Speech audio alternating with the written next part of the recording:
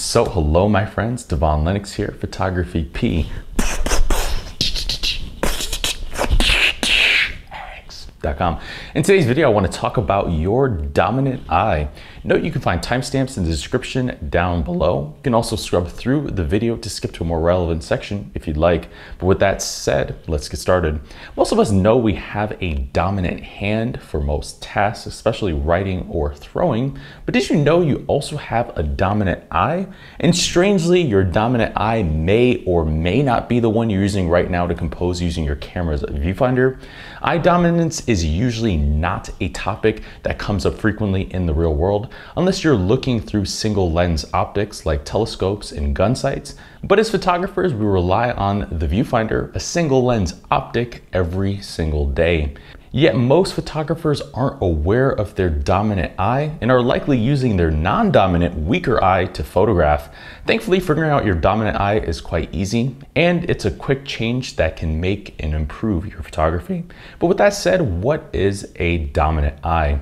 Technically speaking, a dominant eye, sometimes called the leading eye or generally referred to as ocular dominance or eyedness, is our tendency to rely on one eye more than the other. And this happens because our dominant eye relays the most accurate input to the brain, letting it produce more accurate information about the positioning of objects in our visual field. Most people discover whether they're right or left-handed early in life, and we all favor one hand over another. In fact, you're likely using that hand right now. Our dominant hands give us more precision, better coordination, and more strength, while many of us find our non-dominant hand slightly difficult, slow, and tedious to use. So it's no surprise that our dominant hand becomes our go-to for most activities with time. The same thing happens with our legs, feet, and our eyes. So the next question is how does the dominant eye influence us? And how does ocular dominance impact how we see the world?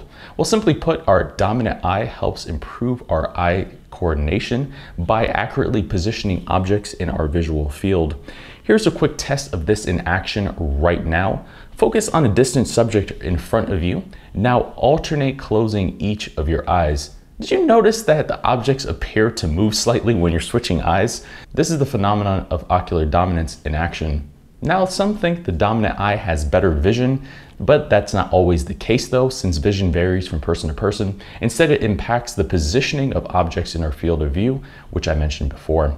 As humans, we see the world with binocular vision, and we use two eyes to create a three-dimensional image. But since our eyes are separated, there's a viewing error between them, which we call a parallax error. Because of this distance, each eye sees slightly different images or points of view, and has somewhat different depth perception.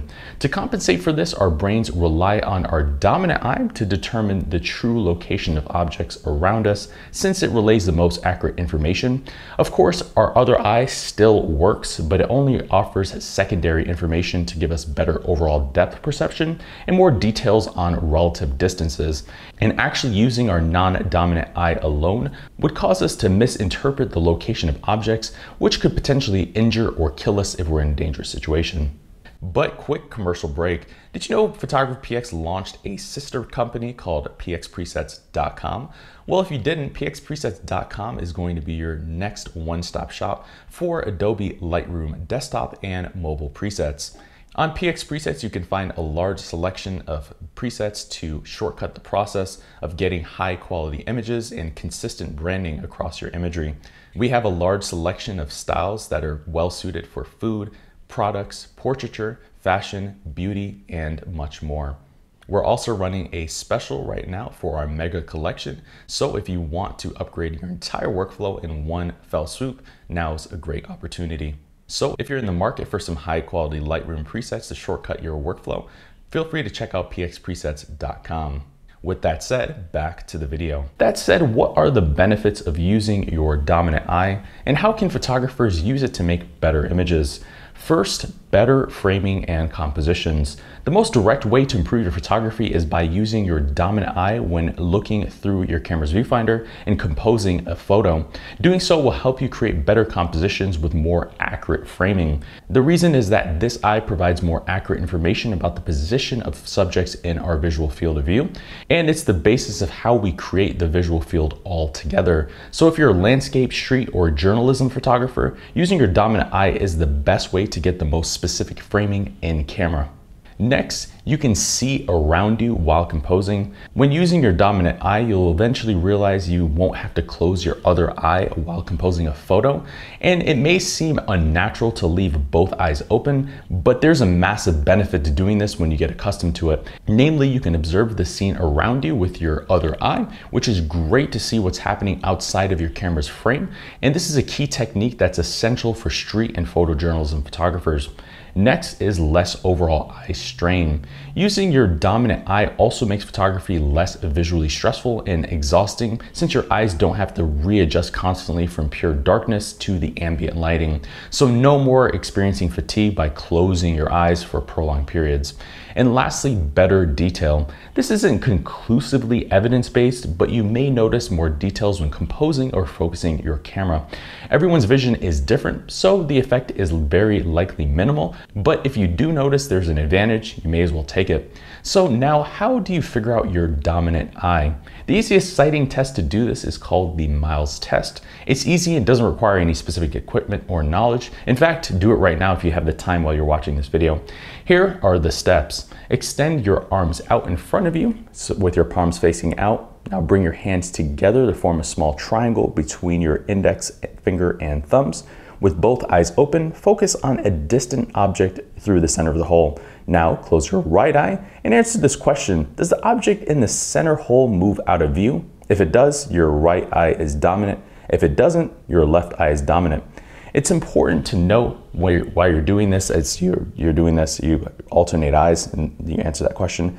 But it's important to point out that ocular dominance ranges on a spectrum and it varies from person to person. So it's possible after doing this exercise, you may realize you don't have a dominant eye but that's very rare. Instead, you may have likely noticed that your visual target is not perfectly aligned with either of these tests, and that means that you have mixed or alternating ocular dominance, meaning each of your eyes performs different duties depending on the task. So one eye is probably dominant for certain tasks or functions, while the other eye is dominant for others. Also, after doing this exercise, you may ask, is it possible to change your dominant eye? For example, if you're shooting with your non-dominant eye right now, and that answer is yes, you can change your ocular dominance to some degree.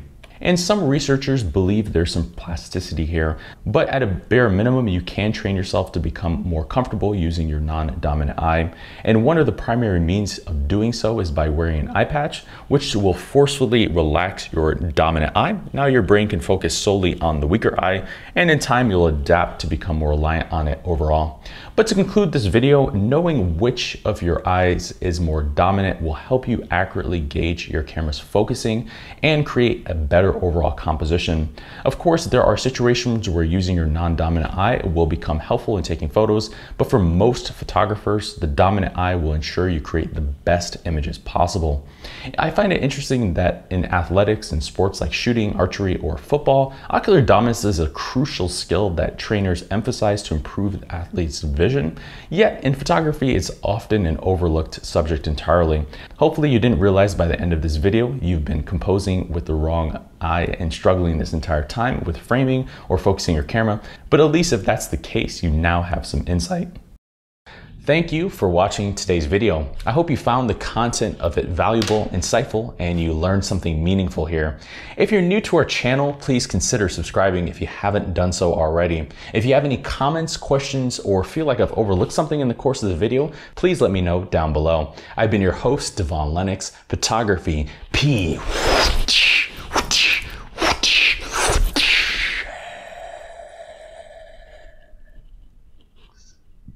Dot com.